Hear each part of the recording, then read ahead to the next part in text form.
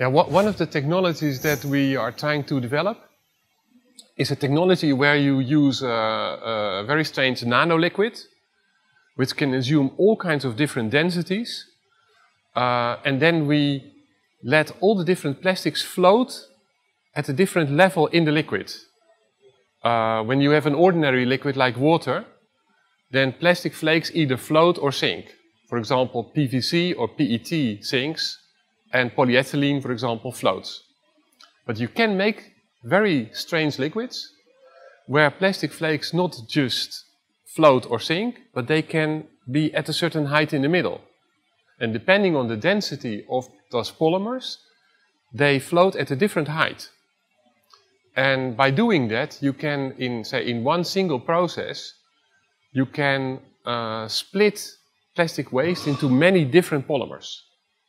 And the other technology uh, that we are looking at is a technology where indeed um, we're trying with very fine structures, micro robots, only 250 microns in width, uh, to manipulate plastic flakes in, in space.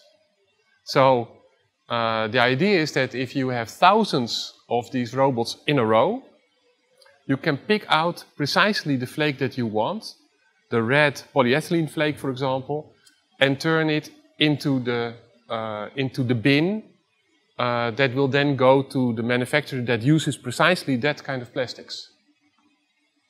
One of the problems that, that we do have is that on the one hand, uh, when you develop these kind of innovations, uh, you use a lot of physics.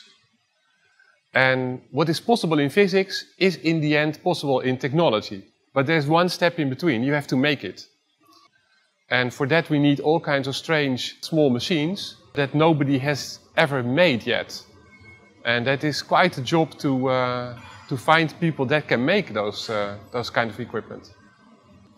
Well, we are, now, we are now very close to the point that we can, can demonstrate the technology.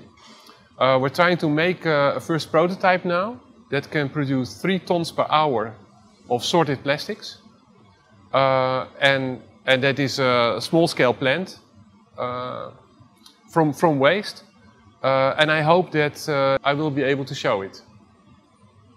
I, um, I think the market will accept this at a, at a rate where people see success.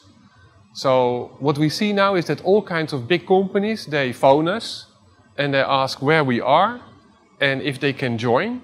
I think if those big companies have shown that it's, it's possible, that we can indeed turn uh, old products into new products again, made of plastics, then I think the rest of the market will follow.